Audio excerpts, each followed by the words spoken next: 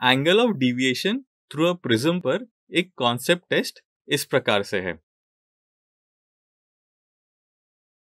यहाँ पर आप इस वीडियो को टू मिनट्स के लिए पॉज करेंगे, उसके बाद हम इस क्वेश्चन को डिस्कस करेंगे।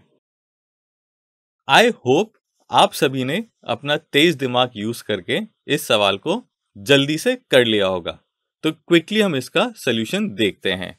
हमें पता है D M is equal to N two one minus one into A यहाँ पर हमें प्रिज्म का एंगल ए फोर डिग्री दिया है और प्रिज्म का refractive index with respect to air हमें पता है three by two upon one होगा।